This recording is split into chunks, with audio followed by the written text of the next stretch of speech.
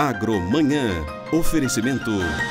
Santander. O que a gente pode fazer por você hoje? Olá, bom dia para você. 7 horas em ponto, pelo horário de Brasília. Hoje é dia 3 de janeiro de 2023. Vamos então conferir o que é destaque nessa edição, nossa segunda edição de 2023. No primeiro dia de governo, Lula se reúne com líderes mundiais. Além disso, o presidente manda revogar processos de privatização de oito estatais. Presidente Lula assume com discurso de desmatamento zero na Amazônia. Lula também cita estímulo à conversão de áreas degradadas de pastagens em solo produtivo. Senador Carlos Fávaro toma posse como ministro da Agricultura. Durante o discurso, o novo chefe da pasta reforça o papel do setor agropecuário brasileiro no combate à fome. Posse do futuro ministro da Agricultura, Pe... Aquicultura, Pesca, André de Paula, está marcada para hoje, às 3 horas da tarde, na sede do Ministério da Agricultura. Márcio França assume como ministro de Portos e Aeroportos e defende que o Porto de Santos receba o nome de Pelé. A pasta foi recriada após ser desmembrada do Ministério do Desenvolvimento Regional. E o adeus ao rei do futebol Milhares de pessoas se despedem de Pelé na Vila Belmiro, no litoral paulista.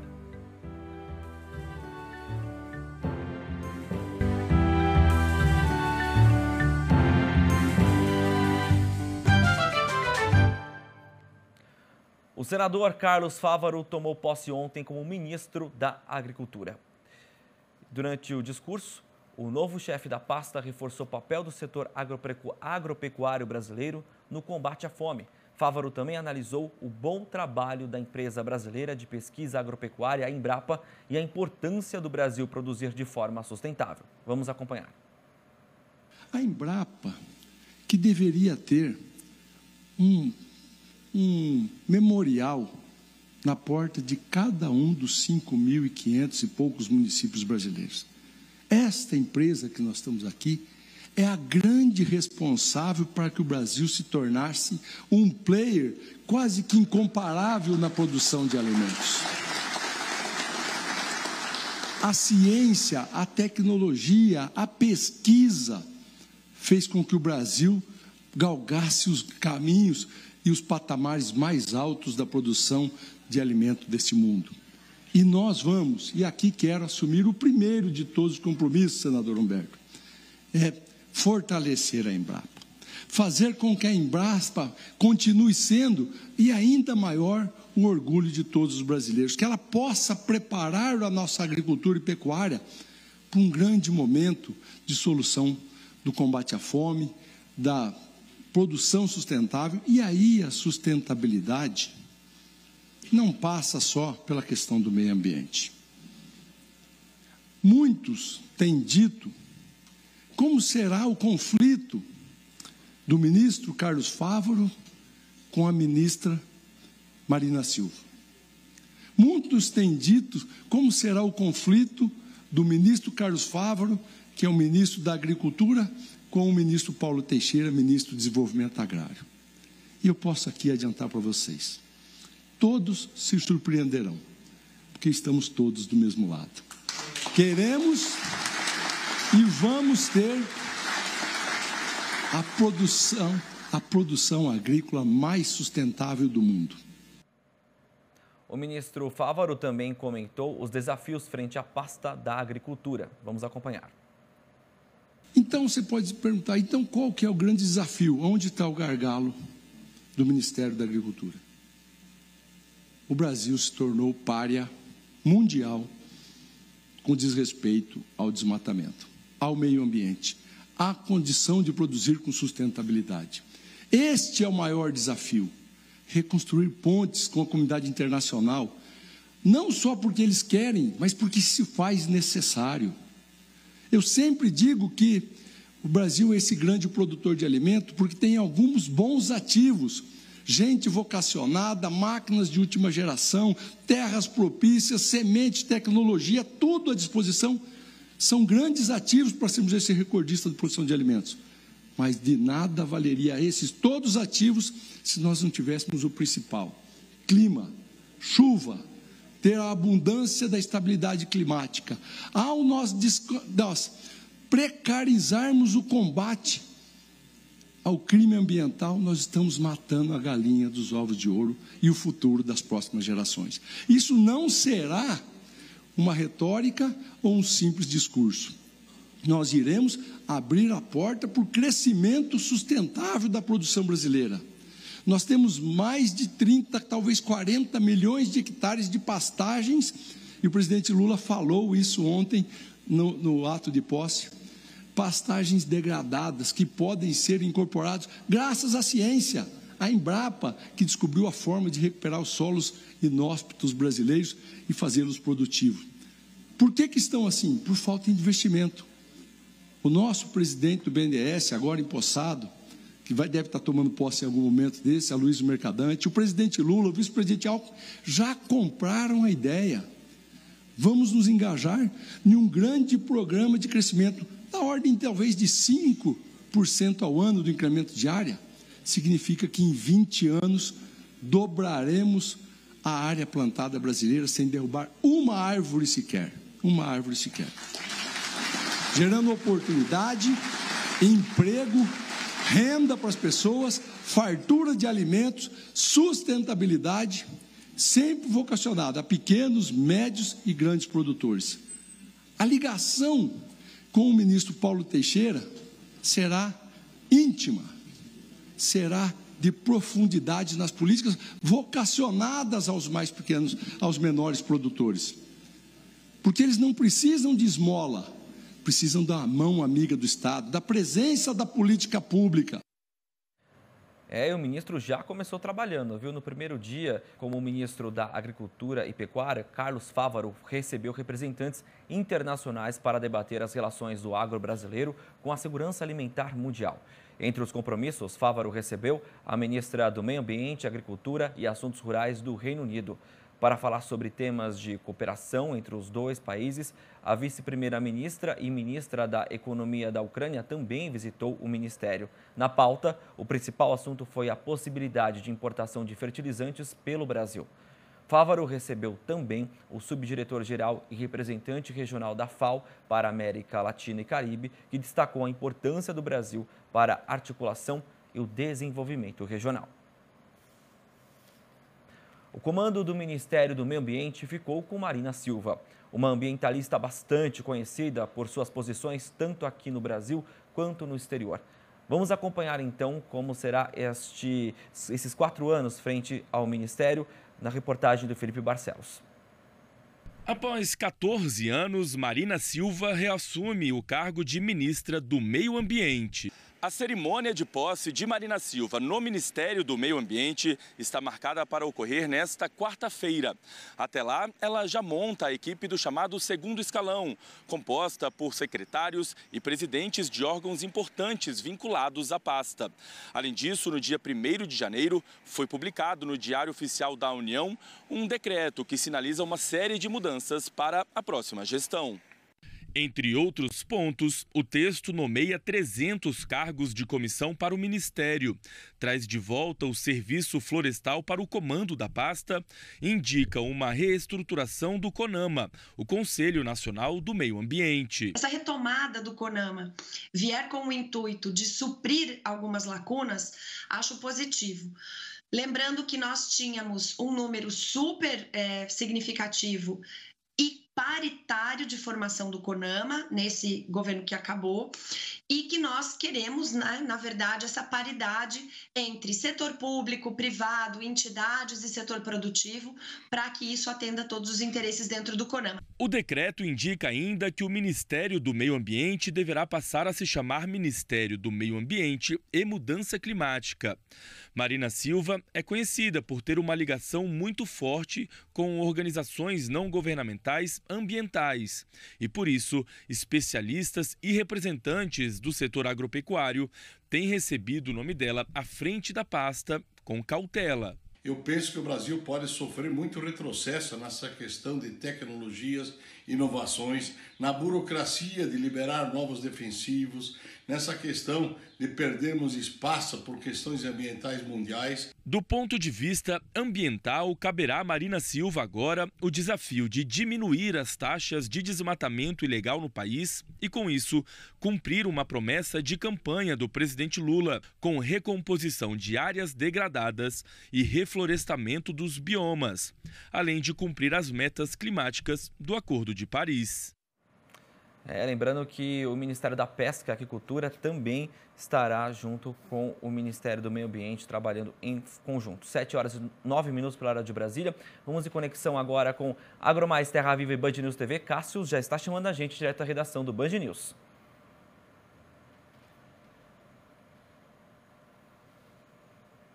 Você que você traz de destaque hoje do agronegócio. Oi, Cássio, bom dia para você. Bom dia, assinante do Band News TV. Vamos falar sobre essa nova configuração política. Carlos Fávaro assumiu oficialmente o Ministério da Agricultura ontem, em cerimônia na sede da Embrapa, lá em Brasília. No discurso de posse, o novo ministro defendeu o papel da Embrapa e disse que o Brasil terá a agricultura mais sustentável do mundo. Quantos brasileiros não puderam almoçar hoje? E esse é o grande desafio que nós temos que enfrentar neste governo. É o primeiro dos desafios. E a agricultura, a produção de alimentos, tem um papel fundamental. E o lema principal, o slogan do nosso governo: união e reconstrução. Este é um grande objetivo. Nos unirmos, independente do que passou, independente, como disse o nosso ministro Gilmar Mendes, do calor, dos anseios, dos desejos de cada um. A eleição acabou. A eleição acabou e nós temos um novo presidente. E a união de todos facilitará o trabalho para que nós possamos ter um país melhor para todos os brasileiros. Para todos os brasileiros. Eu convoco aqui a Frente Parlamentar da Agropecuária, o IPA, o Instituto Pensar Agro, que tragam lideranças não para apoiar o governo, mas estejam alinhados, que queiram construir pontes.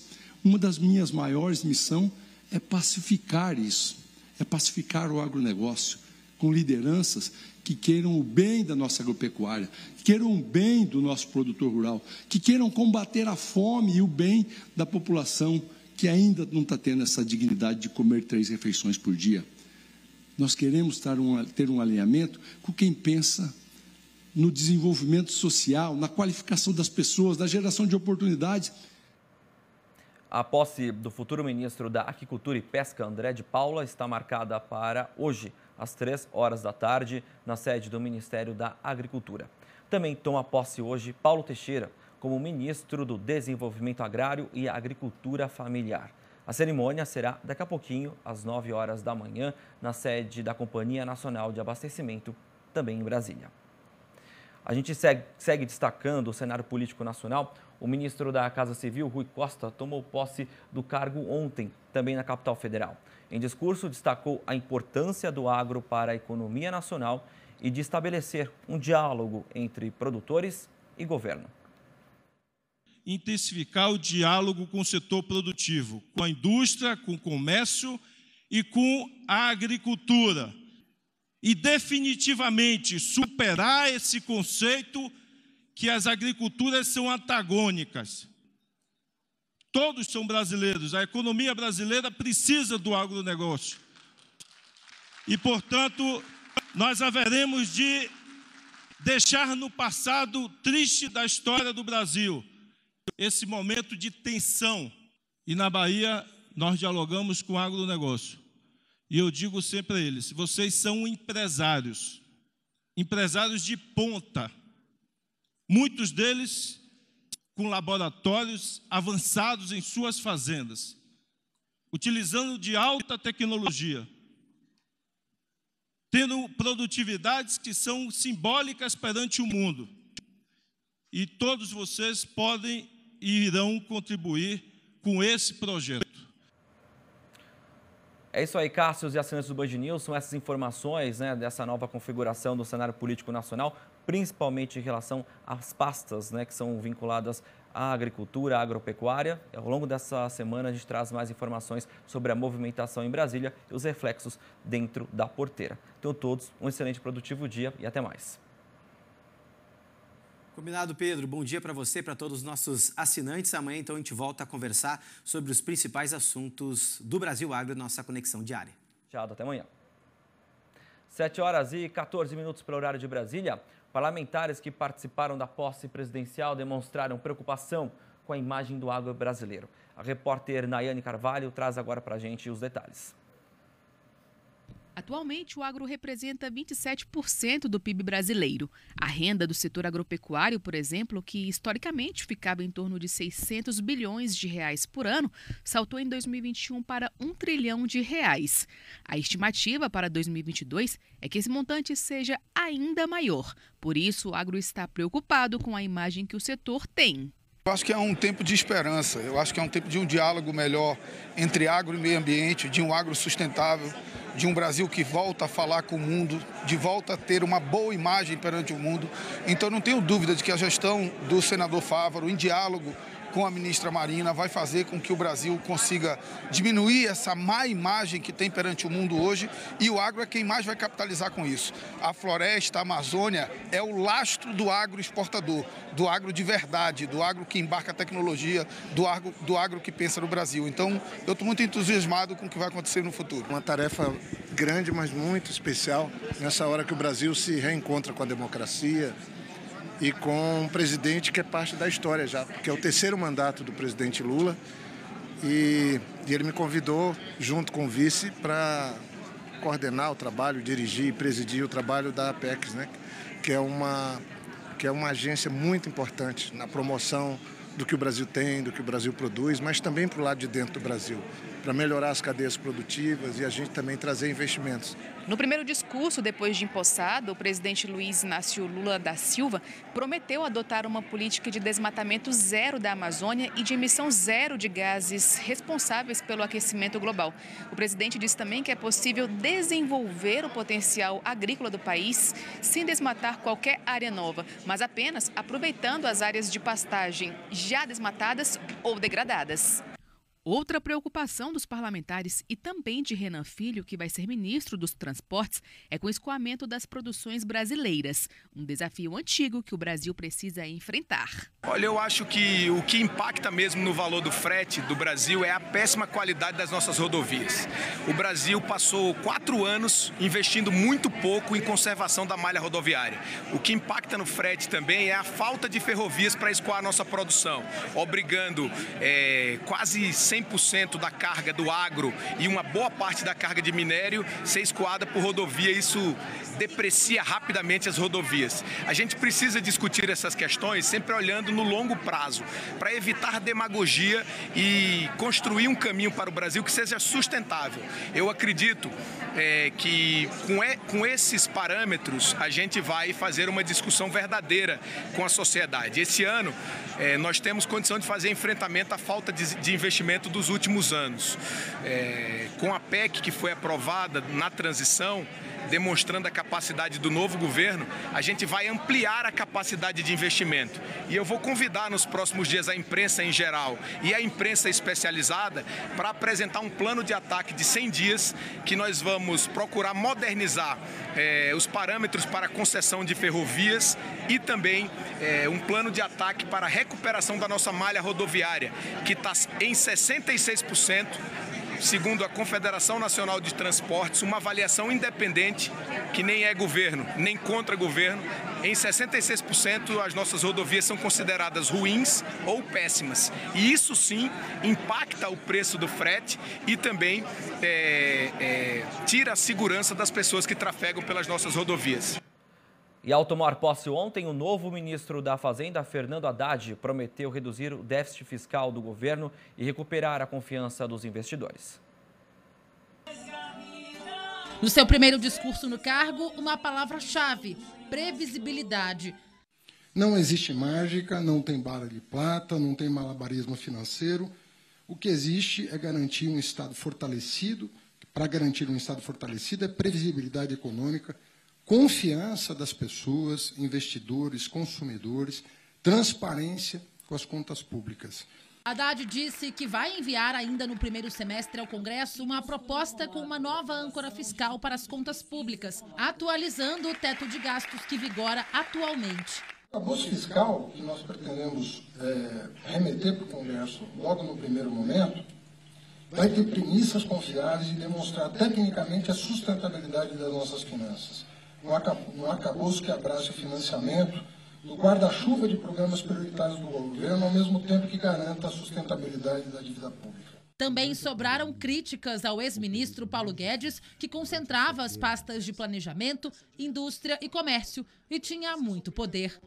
Éramos o posto Ipiranga, agora somos uma rede de postos, quatro que vão fazer a diferença no Brasil. É muito ruim concentrar todos os ovos numa cesta. Muito ruim. E foi o que foi feito. Nós queremos agir colegiadamente, nós queremos ouvir a sociedade. Não estamos aqui para dar aula. Nós estamos aqui para colocar os nossos argumentos e aprender e buscar o melhor caminho. A primeira decisão do novo governo na área econômica foi a de manter a prorrogação do tributo zero sobre combustíveis, decreto assinado pelo presidente Lula. Haddad disse que a medida deve valer até a posse da nova diretoria da Petrobras, que será responsável por reavaliar a política de preços dos combustíveis. Além de Haddad, outros ministros do governo Lula tomaram posse nesta segunda-feira. Entre eles, como já abrimos esta edição, Carlos Fávaro, que assumiu oficialmente o Ministério da Agricultura em cerimônia na sede da Embrapa, em Brasília. Pela manhã, o novo ministro da Defesa, José Múcio Monteiro, foi à base aérea de Brasília para prestigiar a troca de comando na aeronáutica. Aviões da FAB homenagearam o brigadeiro Marcelo Damasceno, que substituiu o também brigadeiro Batista Júnior. À tarde, Múcio tomou posse no Ministério da Defesa, sem a presença do general Paulo Sérgio, que deixou o cargo no último dia 31, mas foi prestigiado por outros ex-ministros da pasta, como Fernando Azevedo, Raul Jungmann e Silva Iluna. A presença de ex-ministros da Defesa na solenidade de transmissão de cargo para Múcio Monteiro é interpretada nos meios políticos como uma sinalização o início de uma pacificação entre as Forças Armadas e o governo Lula. Apesar de sua relevante dimensão geopolítica, o Brasil e suas Forças Armadas sempre se posicionaram a serviço da paz, da democracia, do respeito às instituições, ciosa de seus papéis constitucionais. Procurarei, na direção política superior das Forças Armadas, coordenar esforços e assegurar meios e condições para que possam cumprir suas missões. Na saúde, Nízia Trindade, ex-presidente da Fiocruz, assumiu com o compromisso de retomar a ciência como instrumento de melhoria da qualidade de vida do brasileiro. De reforçar a comunicação pública da ciência e a valorização da ciência como parte da nossa cidadania. Fortalecer o SUS com os recursos necessários, ações estruturantes integralidade e cooperação interfederativa será a grande prioridade da nossa gestão no Ministério da Saúde. Na Casa Civil, Rui Costa, ex-governador da Bahia, disse que vai retomar obras paradas e o programa Minha Casa Minha Vida. A orientação do presidente Lula é de discutir com todos os atores econômicos, sociais, é a retomada de um país que vai crescer, acelerar, dialogando. Camilo Santana, novo ministro da Educação, disse que as universidades vão viver tempos novos. Para isso, pretendemos reforçar o orçamento das nossas universidades, que foram sucateadas no último governo com uma visão equivocada, distorcida, de viés ideológico. Vamos recuperar a credibilidade do Enem, e voltarmos a motivar a participação da nossa juventude. E na agricultura, Carlos Fávaro assumiu com o desafio de conseguir mais recursos, já que a pasta foi dividida. Muitos têm dito como será o conflito do ministro Carlos Fávaro com a ministra Marina Silva, com o ministro Paulo Teixeira, ministro do Desenvolvimento Agrário.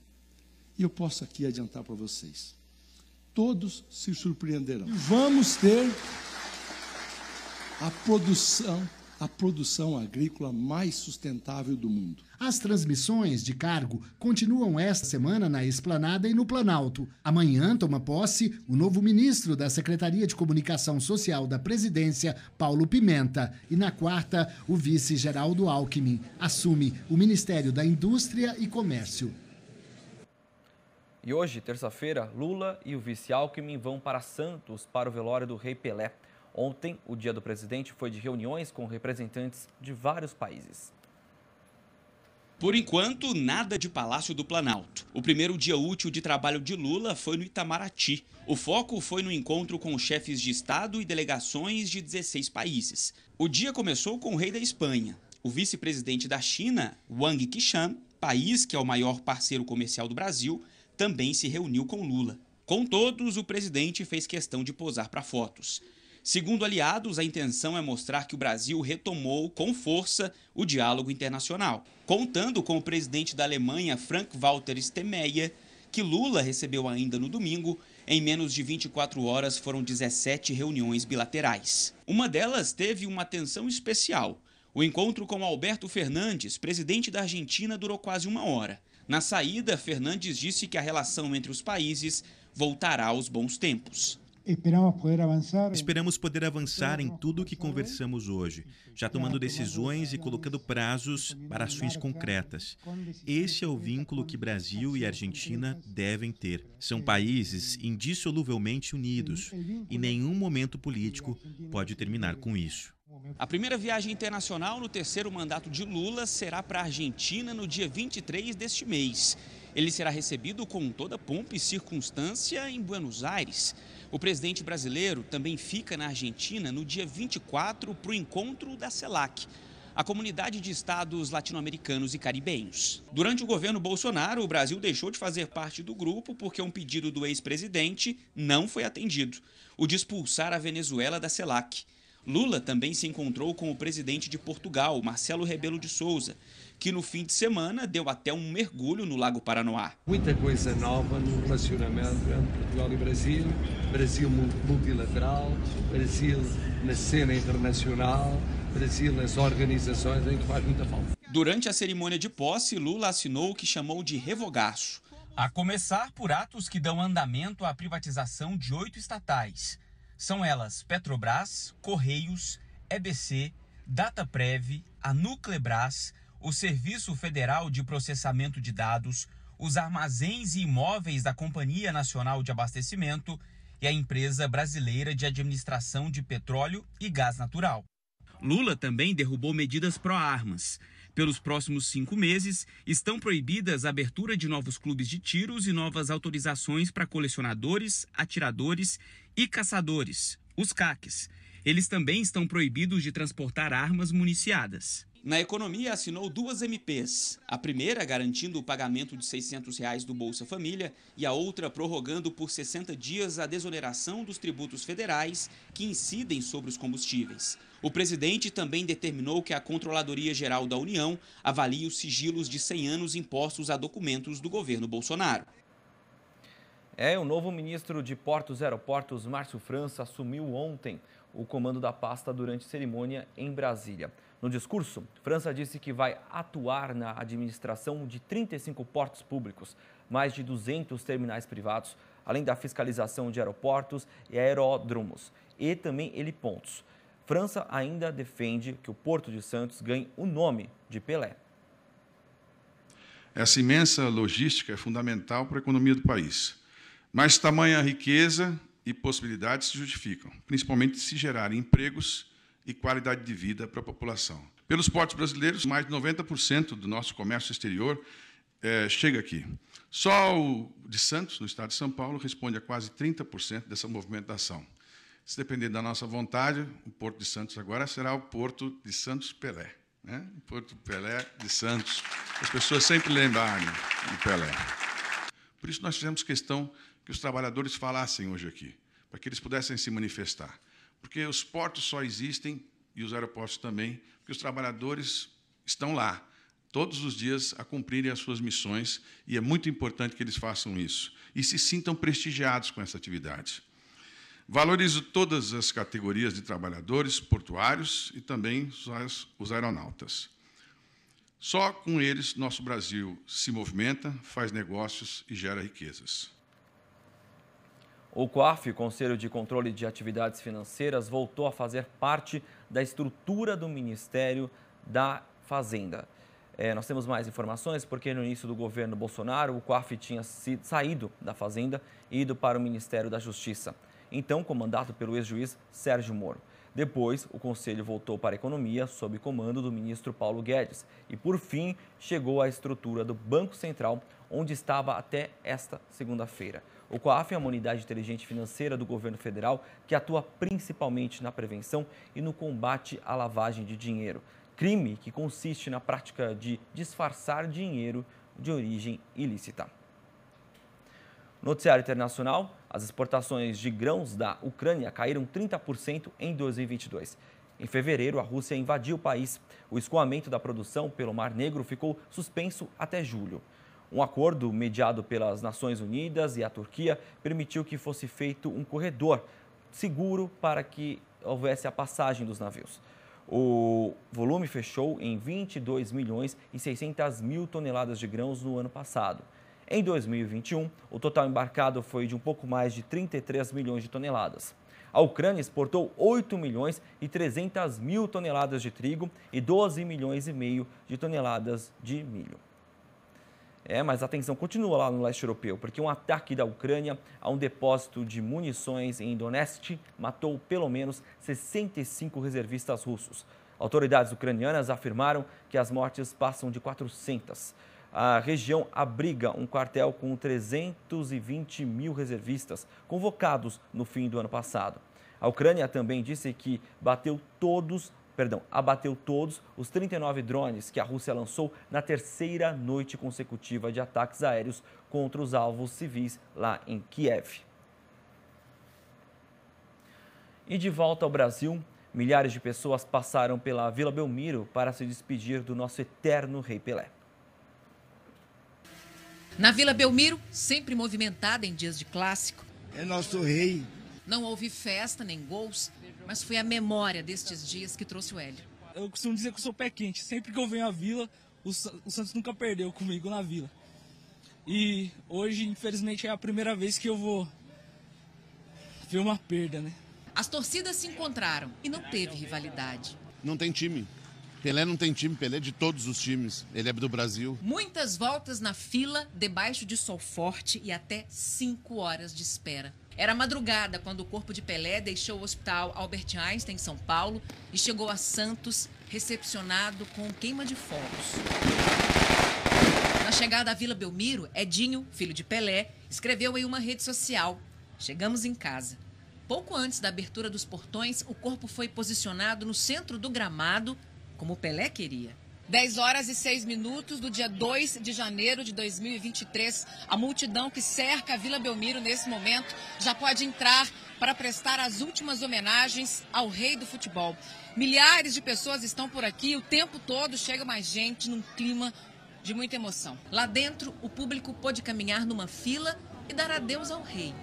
Nas caixas de som, a música cantada por Pelé. Graças a.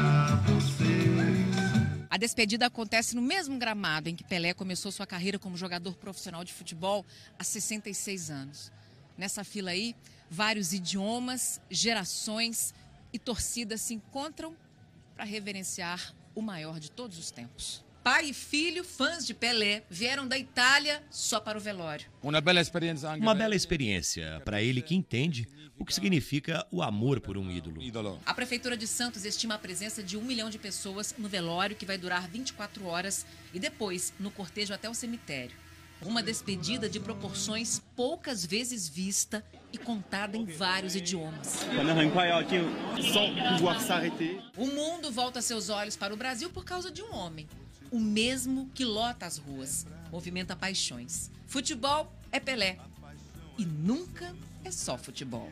Ele não foi rei só no futebol, ele foi em tudo, ele foi rei em tudo. Muito orgulho da gente ter um rei negro. Virei rei sem querer, isso foi o que o destino preparou para mim. É, daqui a pouquinho, então, existe a expectativa da chegada do presidente Luiz Inácio Lula da Silva, do vice Geraldo Alckmin, e também existe a expectativa para o cortejo, que seguirá por um, um perímetro específico, que vai passar até mesmo pela frente da casa da mãe do Pelé, né? uma senhora que já tem 100 anos de idade, e depois o corpo do Pelé será sepultado e será uma cerimônia íntima para amigos e familiares. E ao longo da programação aqui dos canais da Nilco TV, Agromais, Terra Viva, Band News, você vai acompanhando, e também Band Sports, você vai acompanhando todos os detalhes deste velório do sepultamento do Rei Pelé. Enquanto isso, lá fora, no exterior, mais de 40 mil pessoas se despediram do Papa Emérito Bento XVI no primeiro dia de velório no Vaticano. A gente acompanha agora a reportagem do Felipe Killing.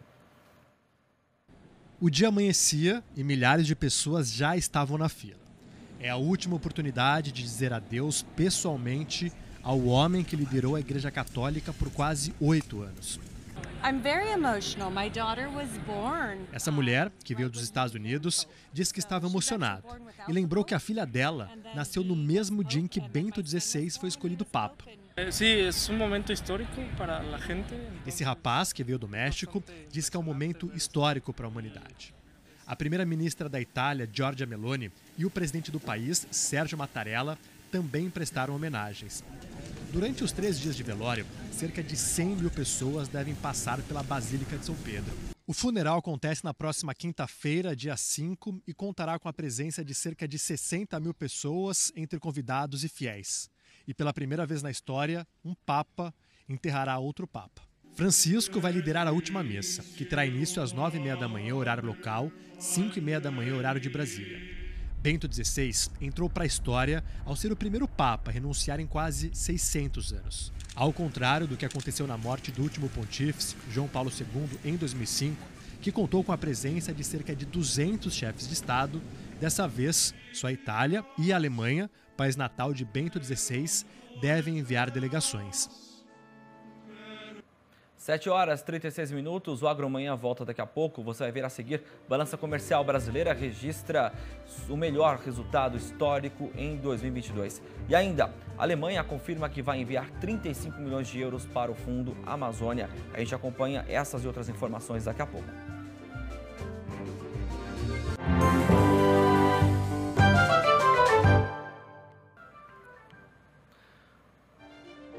Já estamos de volta com a Agromanhã, com transmissão simultânea nos canais Terra Viva e Agromais, além do YouTube. 7 horas e 40 minutos pelo horário de Brasília. Para você que chegou agora, bem-vindo, bem-vinda.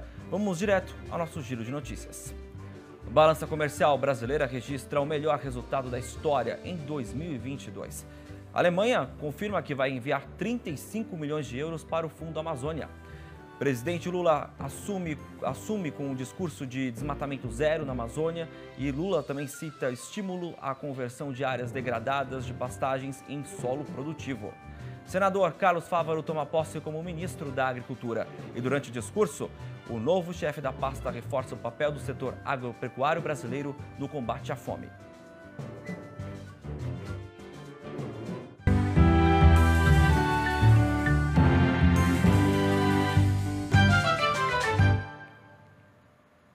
A gente abre este bloco destacando a economia.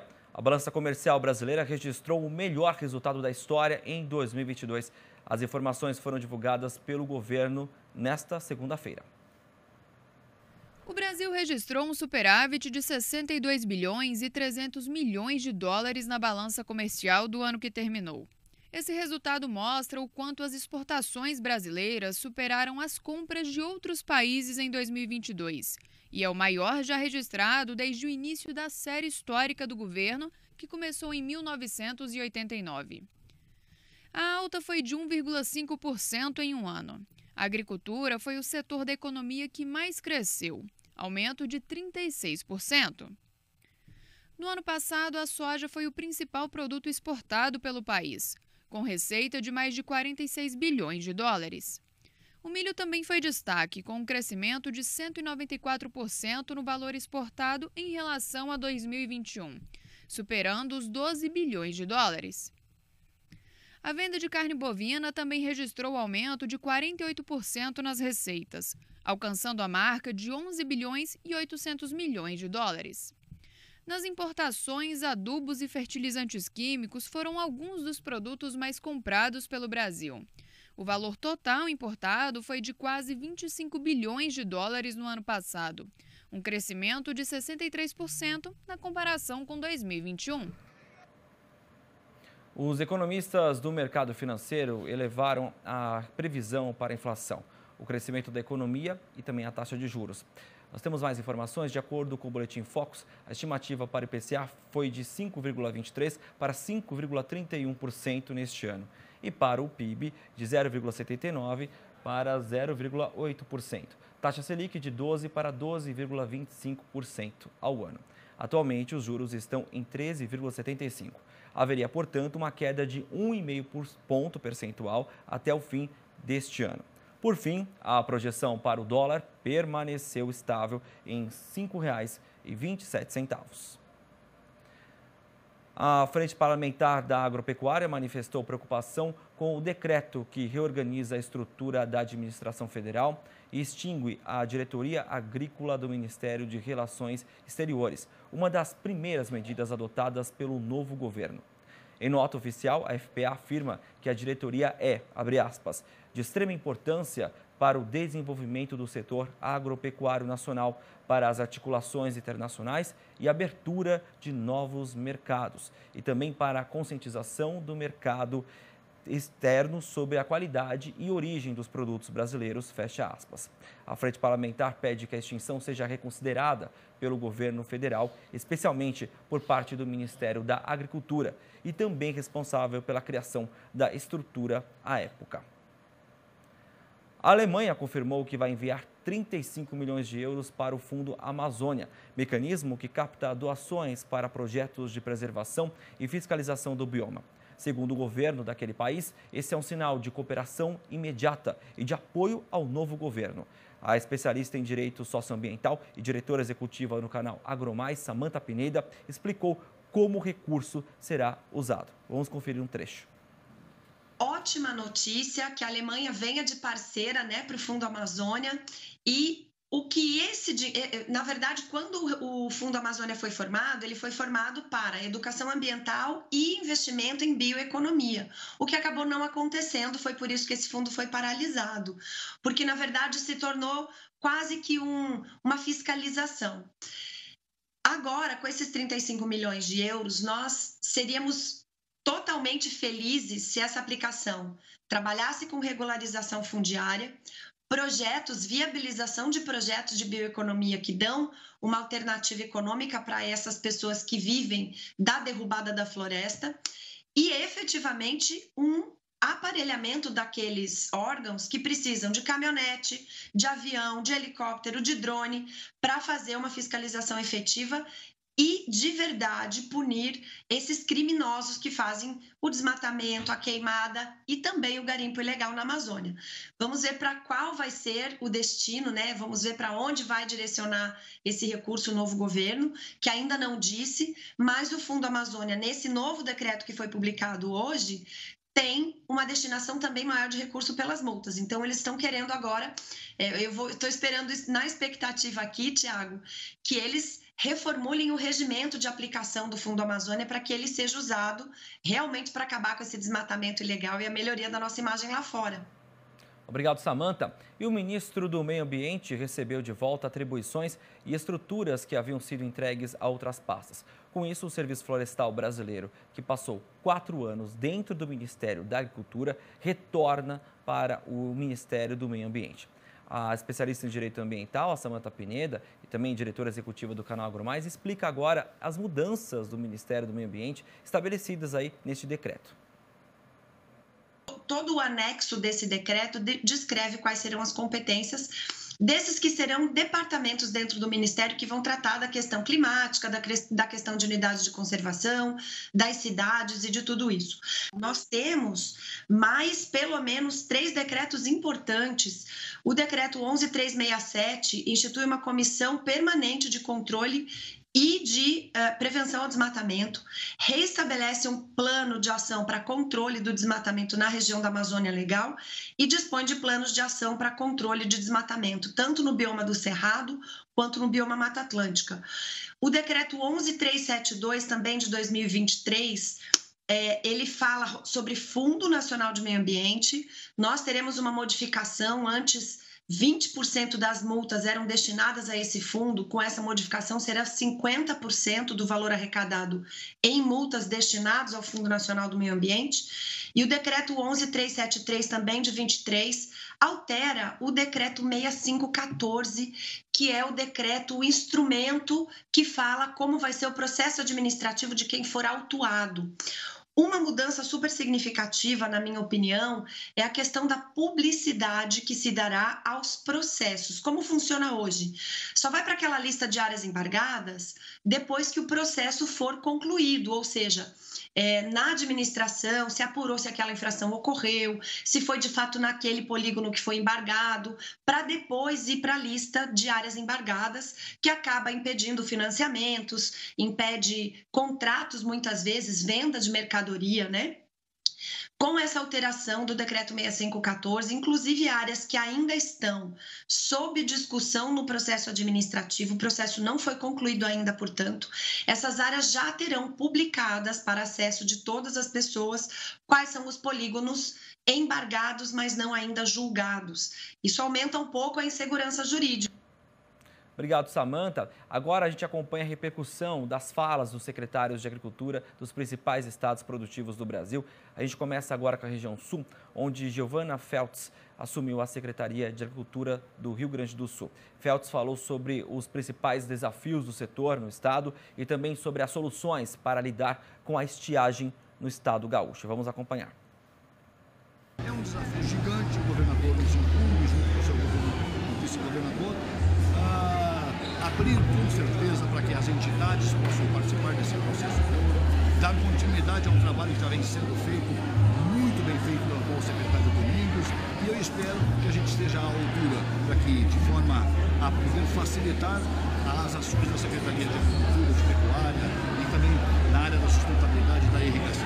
Espero que a gente saia bem, ao menos para não atrapalhar as coisas da realidade do Rio Grande do Sul, um setor tão fundamental. E se pudermos ser, e queremos ser, parceiros para que as coisas se resolvam e possamos avançar ainda mais, certamente o setor vai poder contar comigo e com a Secretaria. Precisamos verificar aquilo que já foi feito até aqui, as coisas que estão preconizadas, preparadas na Secretaria da Agricultura, e não são poucas, eu sei disso.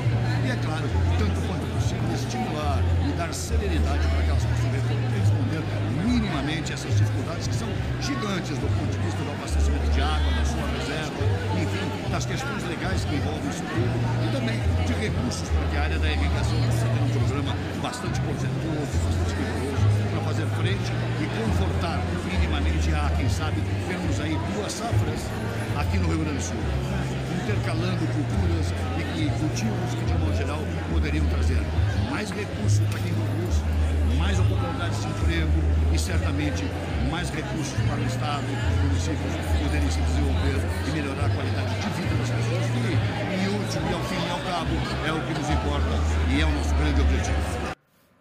É, e ainda na região sul, Noberto Ortigara, que segue na pasta da agricultura no estado do Paraná, fez um balanço dos últimos anos e falou sobre os desafios da nova gestão. Tempos difíceis que nós passamos, pandemia, guerra, seca, a maior seca da história, eu acompanho isso há, mais, há 50 anos, pelo menos aqui no Paraná, e foi a maior seca de 90 e poucos anos. É, em que pese isso, custos elevados por causa dos preços internacionais, cadeias desarticuladas, tudo ficou mais difícil. Nós tivemos um bom desempenho, avanços importantes, avanços como na visão estratégica de manejo de solo e água, tão fundamentais, o voltar-se para uma agricultura mais natural, com bioinsumos, eh, o fortalecimento da pequena cooperação, das cooperativas, com o programa Coopera, com o programa Compra Paraná. Eh, nós tivemos, assim, eh, cuidado com os pequenos, né, cuidado com a agricultura familiar, que é o, a maioria dos paranaenses são assim, tem, temos poucos fazendeiros grandes aqui. Enfim, nós tivemos um, um, avanço importante, uma evolução sanitária fantástica, ou seja, nós conseguimos um passaporte novo para vender a proteína animal do Paraná, e o Paraná é o, carro, é o principal produtor de carnes do Brasil, né? porco, frango, boi, peixe, etc. Então nós tivemos assim avanços importantes é, nesse olhar atencioso, é, de uma agricultura cada vez mais sustentável, de resultados. A gente quer resultados, mas é, uma visão assim de que nós devemos perpetuar cada vez mais sempre essa, esse jeito de fazer agricultura para termos chance de fazer sempre uma boa agricultura. Produzir, guardar e usar racionalmente água é, no meio rural, é, reduzindo riscos. Segundo, energia além da, de continuar o processo aí de trifaseamento, rede trifásica, chegando 25 mil, mais, mais 10 mil quilômetros né, no meio rural, energia de qualidade. Mas também as energias renováveis que têm avançado bastante, seja através do sol e agora com força a partir de 23, a partir do, dos dejetos de animais, biogás, biometano. Terceira, tecnologias, bioinsumos, mais natural, um solo mais química, física e biologicamente mais resolvido. Isso dá mais resultados e a gente gasta menos. Quarta, questão sanitária, cuidar é, do que já conquistamos e evitar, por exemplo, a gripe aviária que poderia causar um estrago. Então, toda a estratégia é em cima disso é, pequena cooperativa, pequena cooperação, pequena agroindústria, internacionalização maior ainda do nosso agro. O agro representa hoje 80% do esforço exportador do Estado do Paraná, que é a quarta economia do Brasil. No norte do país, José Luiz Tchê assumiu a Secretaria de Agricultura do Acre. Durante a posse, o secretário comentou as, os principais desafios para a nova gestão. Tem muitos desafios, né? tem muitos programas, é, é muito complexo, são os 22 municípios. Ah, o, o, secretário Edivan que geriu muito bem a pasta que está lá, amanhã de manhã a gente vai fazer uma transição para a gente conhecer os projetos, ver as estruturas, ver de que forma a gente vai tocar e como. Nós faremos a transição nessas primeiras semanas, duas semanas, e junto um planejamento. E vamos chamar as pessoas para poder compartilhar com nós as preocupações, os problemas que têm. A intenção é aproximar o agricultor, o pecuarista, as pessoas para perto da secretaria, trazer eles.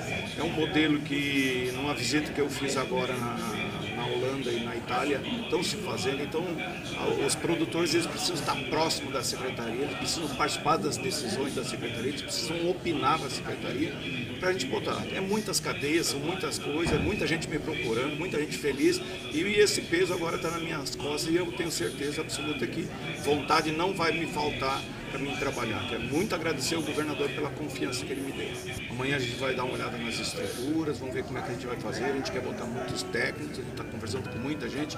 Quero fazer parceria com as universidades, quero chamar os alunos da universidade para estar tá dentro da secretaria, nos ajudando a construir, chamando a sociedade, ouvindo as pessoas, dialogando com todo mundo, para a gente não errar menos, vamos dizer assim. Então, tem muitas coisas, eu estou com um jargão mais ou menos assim, nós, nós chegamos numa era que, na, na macaxeira, que é um produto importante nosso, que a gente faz muita farinha e muita goma. Mas a gente já pode pensar numa festa, a gente tem uma indústriazinha, mesmo que seja pequena, de uma forma de a gente construir. Então tem muitas coisas boas para a gente fazer, a cadeia do leite é importante, a pecuária é extremamente importante, grãos que está chegando é importante, e a gente trabalhar junto com a Secretaria do Meio Ambiente para a gente poder consorciar isso.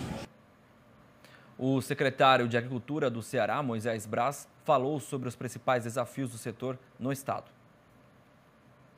Olha, garantir que a gente tenha aí assistência técnica, possa garantir pesquisa e conhecimento e possa fazer muito investimento para a produção de alimentos. Nós estamos passando por uma crise né, de produção alimentar e eu acho que o desenvolvimento agrário aqui no estado do Ceará, essa será a prioridade. Nós já vamos ter agora, já no começo do mês, a questão do programa de semente, distribuição de semente, mas o grande gargalo é a gente trabalhar a gerar emprego para produzir alimentos aqui no nosso estado. E torcer realmente com boas chuvas nesse ano. Claro, o inverno é fundamental, porque a maior produção nossa aqui ainda é na área de sequeiro, nós temos projetos de irrigação, mas eles são mínimos agora, o inverno controlado, isso vai nos ajudar muito com essa perspectiva e com essa realidade que a gente espera em breve. E ainda no Nordeste, Regiane Tavares da Silva, que assumiu a pasta da agricultura familiar no estado do Piauí, disse que os grandes desafios a partir de agora são a produção de alimentos e melhorar a qualidade genética da agricultura, perdão, a qualidade, a qualidade, também os alimentos e também a questão técnica da agricultura familiar. Agora sim, vamos conferir. A gente vai ter agora um mandato que o grande desafio realmente é a produção de alimentos, de alimentos saudáveis para a população E a Secretaria de Agricultura Familiar vai focar exatamente nesse processo, dando continuidade a um programa chamado PAS, Programa de Alimentação Saudável, onde o Estado adquire o alimento e distribui exatamente com populações carentes, com entidades que trabalham com, essa, com o público em vulnerabilidade. Então, essa é uma das ações. A gente tem também um grande desafio hoje, que é melhorar a qualidade técnica da agricultura familiar, inserir os, os agricultores familiares em mercados mais dinâmicos para além do mercado institucional. Carla Dantas Lima e Silva é a nova secretária de Agricultura e Pecuária de Alagoas. Em entrevista à Band, a deputada federal do MDB disse que vai incentivar políticas públicas para a agricultura familiar. Vamos acompanhar. Então, continuar desenvolvendo a agricultura familiar. Para isso, a gente tem projetos para enriquecer esse programa, que é colocar, o principal objetivo é colocar mais comida na mesa, e porque é importante fazer assistencialismo, mas tão bom quanto é quando a gente dá a condição da pessoa se, se promover, né? conseguir a sua própria subsistência. E, mas a gente também não pode esquecer que sendo a agricultura também trabalhar o agronegócio, né? já que é tão importante para o nosso estado. Então, eu acho que são os dois dois desafios. É, aumentar a agricultura familiar, mas também desenvolver ainda mais a agropecuária no nosso estado. Tá aí, então, foram alguns secretários que tomaram posse ou que vão dar continuidade aos seus mandatos. Secretários de Agricultura de vários estados, a gente traz ao longo dessa semana outras informações e também é, como é que serão os governos dessas secretarias em outros estados da nossa federação. 7 horas e 58 minutos pelo horário de Brasília. Vamos para o rápido intervalo. Na volta, você vai ver que o presidente eleito deu posse aos novos ministros. Das 37 pastas, três delas são voltadas ao agronegócio. E ainda tem a previsão do tempo para todo o Brasil. Neste momento, o céu encoberto na capital paulista, 22 graus. A máxima deve atingir 27. A Noelle Brito, da Climatempo, chega trazendo as informações para todo o nosso país.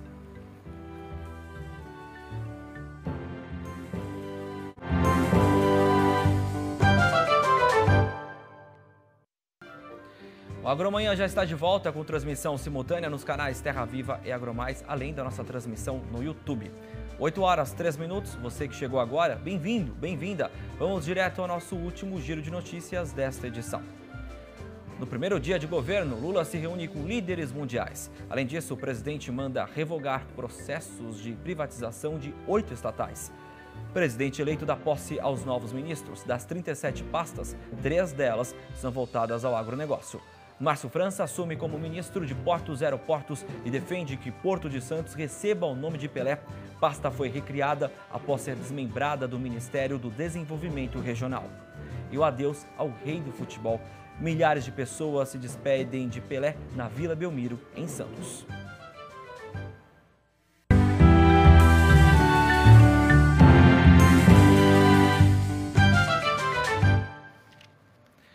Neste fim de semana, o presidente eleito deu posse aos novos ministros. Serão 37 pastas e três delas são voltadas ao agronegócio. Vamos saber então quem são os escolhidos na reportagem especial do Felipe Barcelos.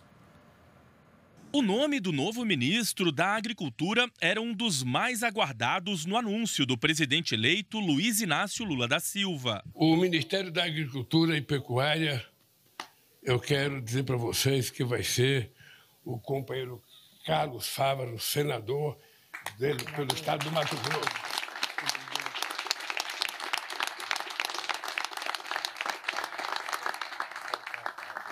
Natural do Paraná, Carlos Fávaro é senador por Mato Grosso, onde passou a morar em 1986. Foi presidente da Associação dos Produtores de Soja e Milho do Estado, secretário estadual do Meio Ambiente, vice-governador e assumiu a vaga no Senado em 2020. Fávaro foi um dos coordenadores do Grupo Técnico de Agricultura durante o período da transição. Após o anúncio oficial, o primeiro compromisso do futuro ministro foi conceder uma entrevista ao canal Agromais. Ele reforçou a ideia de que, passado o período das eleições, esse é o momento de unir o setor. O agro será contemplado. Gostem ou não do presidente Lula, como ele mesmo diz, ele será o presidente que reconhece a força do agronegócio, reconhece a força da produção brasileira e vai estar aberto a dialogar e todos nós, juntos, vamos fazer o agro cada vez mais forte para o Brasil, respeitando o meio ambiente, respeitando as regras, respeitando as leis e incentivando aquilo que é bom para o agro. Especialistas e representantes do setor agropecuário receberam o nome de Carlos Fávaro com otimismo para a manutenção dos trabalhos e dos bons resultados registrados pela pasta nos últimos anos. Eu espero que o ministro Carlos Fávaro efetivamente faça isso e atue como um maestro. Ele tem que ser um maestro, porque ele tem que reunir diferentes ele tem que atrair indiferentes para uma transformar a cacofonia dessa desconfiança que a gente pode dizer que, que vinha numa confiança que se transforme numa sinfonia. Saíram da agricultura, mas também com os ministérios. A agricultura sozinho não vai lugar nenhum. Ele precisa da fazenda, planejamento, do Itamaraty, do meio ambiente, do, da integração regional, do transporte. Então, é, é, uma, é um ministério muito ligado e interdependente com uma série de outros ministérios importantes da República. Modo que o Fávoro tem essa competência do diálogo e eu tenho certeza que fará um bom, uma boa gestão da Agricultura. Pecuaristas do setor leiteiro já sinalizaram que vão precisar do novo ministro para elaboração de políticas públicas que possam garantir investimentos e a permanência dos produtores nessa atividade nos próximos anos. O que temos que ver o quanto vai ouvir o setor e aí falando especificamente do nosso setor, o setor leiteiro que representamos, este está bastante prejudicado nos últimos tempos, principalmente aqui no sul, pela dificuldade em produção de alimento para nossas vacas. Portanto, precisamos ser ouvidos, precisamos da atenção especial para que os produtores deixem de abandonar a atividade. A partir do próximo ano, a estrutura do Ministério da Agricultura, Pecuária e Abastecimento será desmembrada em três ministérios: o da Agricultura e Pecuária, o da Pesca e o do Desenvolvimento Agrário e Agricultura Familiar. Esse último, inclusive, terá no comando o deputado federal reeleito por São Paulo, o petista Paulo Teixeira. Após o anúncio oficial, o futuro ministro reforçou a necessidade de trabalhar em prol da segurança alimentar da população. Tem um desafio enorme no nosso país de melhorar, aumentar a produção agrícola, fazendo com que ela chegue mais barato à mesa do nosso povo. O povo brasileiro merece se alimentar melhor. As nossas crianças, nós precisamos alimentá-las melhor para que elas estudem, para que elas tenham tranquilidade.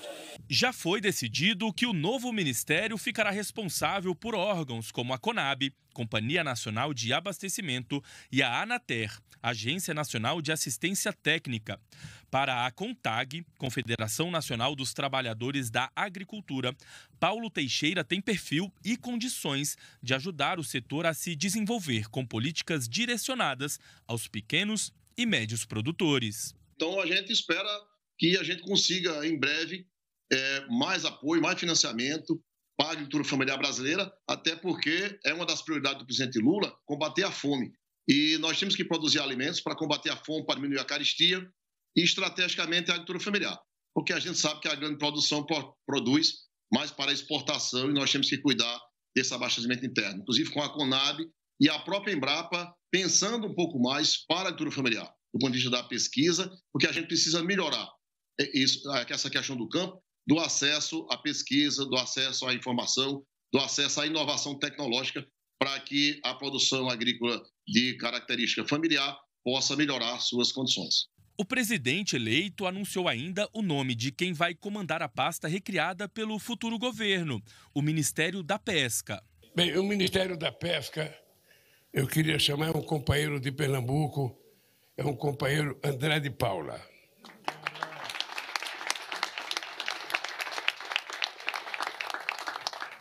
André de Paula é deputado federal e está no sexto mandato.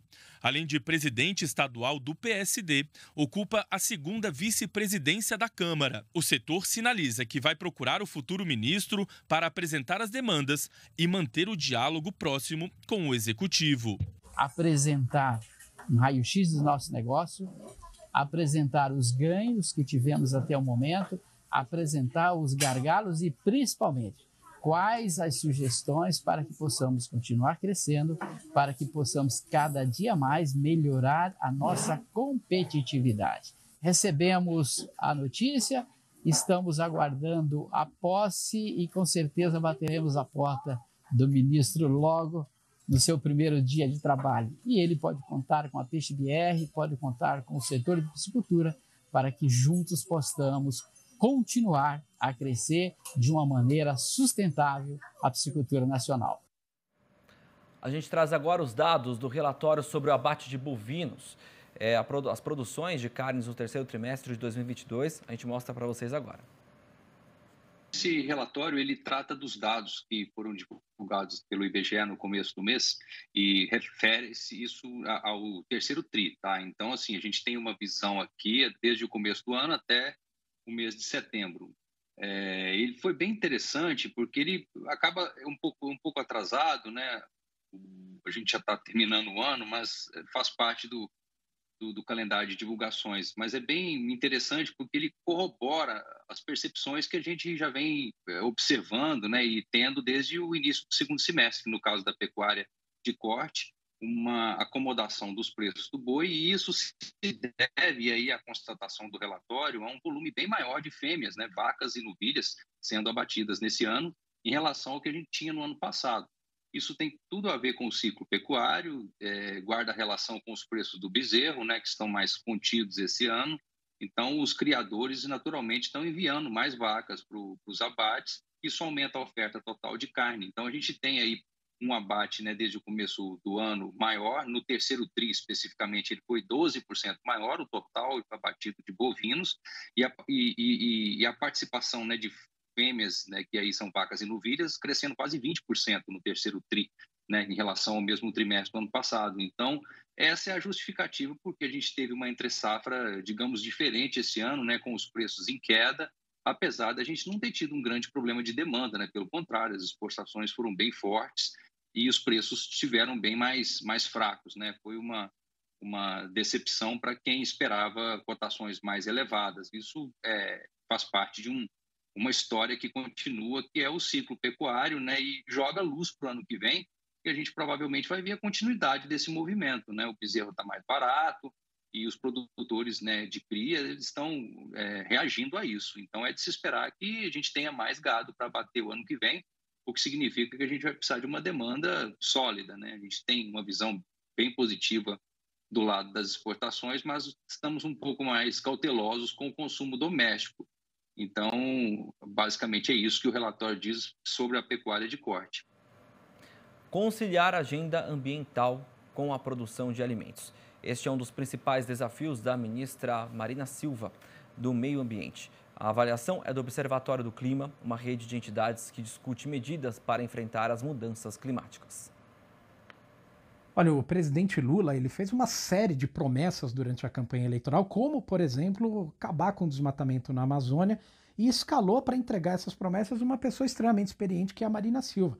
A Marina, inclusive, que foi arquiteta do plano de combate ao desmatamento naquela região, e um plano que foi responsável por diminuir mais de 80% a destruição florestal entre 2004 e 2012. Portanto, espera-se que a Marina tenha essa mesma performance, o governo consiga entregar números tão robustos e um governo que já começou mostrando ao que vem, descongelou o Fundo Amazônia, é, também voltou a cobrança de multas ambientais no Brasil, essas multas estavam paralisadas, não eram cobradas, e o Brasil também, especialmente o governo Lula, vai ter um desafio muito grande pela frente, que é reconciliar a agenda ambiental com a agenda de produção de alimentos. Não há porquê elas andarem separadas. Cada vez que o meio ambiente vai mal no nosso país, o impacto é sofrido pelo agricultor no campo, com secas extremas, com chuvas prolongadas. Os mercados internacionais fecham as portas para as nossas exportações. Portanto, cuidar bem do meio ambiente, acabar com o desmatamento, é um bom negócio. Um bom negócio para quem vive na floresta, um bom negócio para a nossa biodiversidade, para o clima no Brasil e um bom negócio também para o agricultor, para o produtor de alimentos do nosso país. É, o ano de 2022 foi o mais quente da história da Espanha. No relatório da Organização Meteorológica Mundial, apontou que em 2021 que a frequência de eventos climáticos extremos se multiplicou por 5 em 50 anos. O país registrou média de 15,5 graus, superando a marca dos 15 graus. Ondas de calor em série provocaram temperaturas de mais de 40 graus, com incêndios florestais em diversas regiões do país. A ausência de chuvas quase bateu um recorde histórico. O país registrou um dos seus anos mais secos em 2022. A Espanha e a Alemanha foram os mais afetados com as altas temperaturas, de acordo com a Organização Mundial da Saúde. Vamos saber agora a previsão do tempo para todo o Brasil.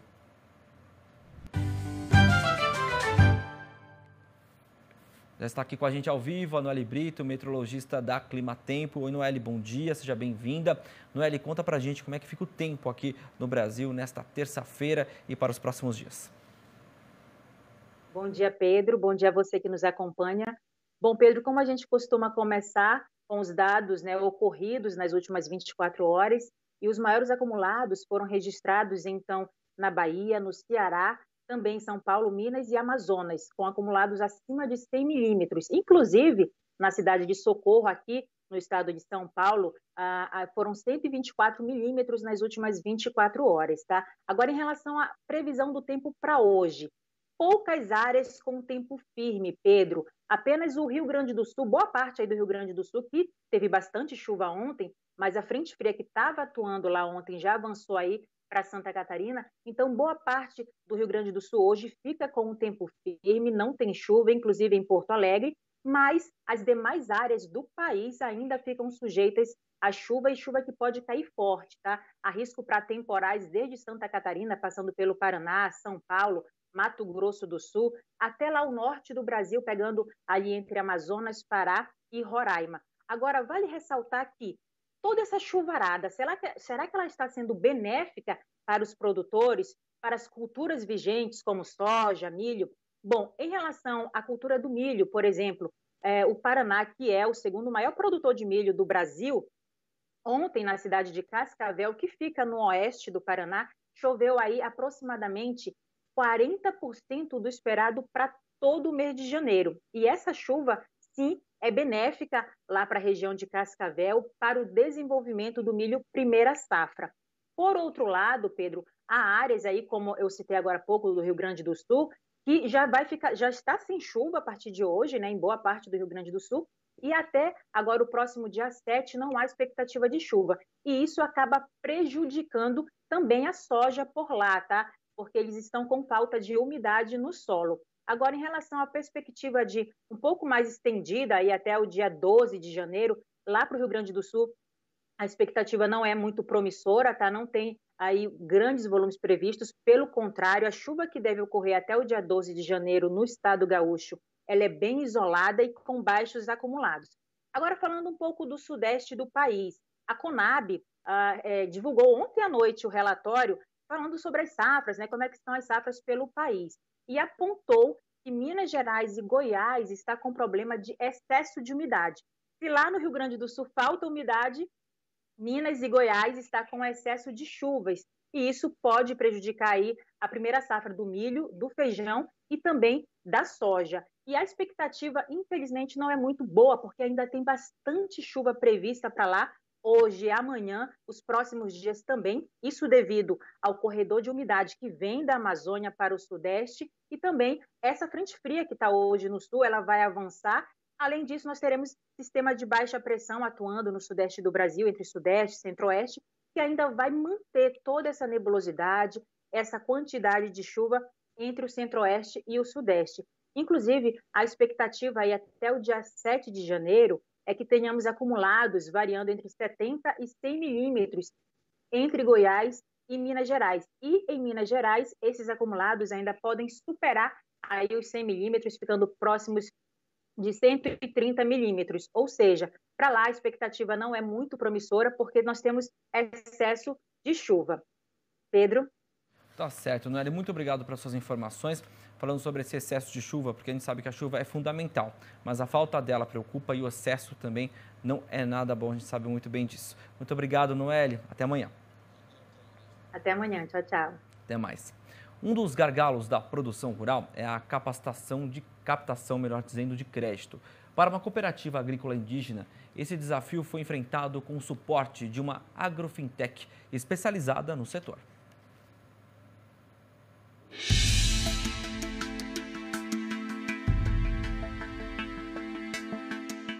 A Coop Paresi, cooperativa agrícola indígena que atua em Mato Grosso, vem deslanchando na produção mecanizada de grãos. Mas para que isso acontecesse, foram muitos obstáculos. A captação de crédito foi um deles. E uma delas é a captação de linhas de crédito para custear essas atividades, né? seja ela na compra de insumo, para custear a compra de um maquinário ou até mesmo fazer a manutenção do dia a dia dessa atividade é, como se fosse uma propriedade é, é, normal do produtor rural. Então, essa foi, esses são os empecilhos, né? uma das dificuldades que a gente, é, desde o início da criação das cooperativas, vem enfrentando. Né? De olho nesta demanda de crédito, uma agrofintech especializada no segmento investiu em tecnologia para ampliar e desburocratizar as oportunidades de financiamento. E a Acreditares ela nasceu com esse sentido, né, de consolidar todas essas informações e dados do produtor rural, uh, gerar um modelo de análise de crédito proprietário em cima disso, então fazer a coleta, a validação desses dados e análise de crédito para disponibilizar para vários agentes financeiros e o produtor ter esse benefício de várias propostas ao mesmo tempo. A captação de crédito por meio do suporte da empresa foi a forma que a cooperativa encontrou para custear os investimentos e a manutenção dos maquinários. Entre outras ajudas, né, a gente também destina uma boa parte do, do recurso de final de safra para a parte social, né, que é você estar tá aí direto é, contribuindo com as comunidades de base, as comunidades indígenas, que faz parte da cooperativa, para que também lá na base elas possam estar tá desenvolvendo alguma coisa né, de atividade produtiva que possa ter renda para eles e, e, a família também viva bem é, ali na aldeia, né, produzindo e, e ao mesmo tempo tirando a renda daquilo que eles produzem. É justamente neste ponto que a empresa atua. Captura, analisa e valida os dados da atividade agrícola, entregando informação útil para a melhor tomada de decisão em relação ao financiamento para o produtor rural. Hoje, o que a Acreditar está buscando fazer é processar essas bases de clientes, né? Colocar o perfil de risco desses, desses clientes, desses produtores, e fazer o dinheiro correr atrás do produtor, e não o produtor precisar correr atrás de dinheiro. 8 horas 22 minutos pelo horário de Brasília.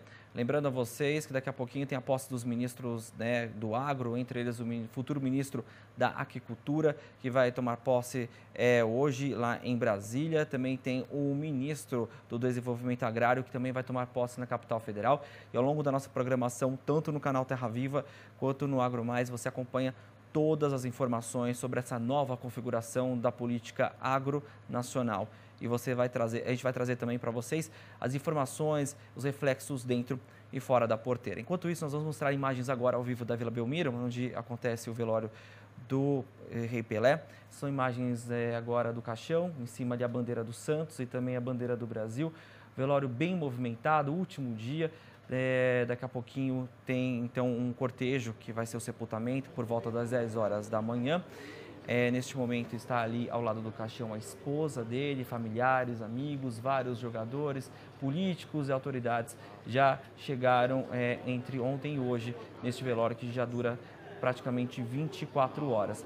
Lembrando que daqui a pouquinho existe a expectativa do presidente Luiz Inácio Lula da Silva e também do vice Geraldo Alckmin acompanhar então este velório, ir até este velório que acontece lá em Santos, na Baixada Pauli, na Baixada Santista, né, aqui no litoral paulista, e você acompanha todas as informações também ao longo dos nossos canais da Nilco Pay TV, Band News, aqui também Terra Viva AgroMais e no Band Esportes.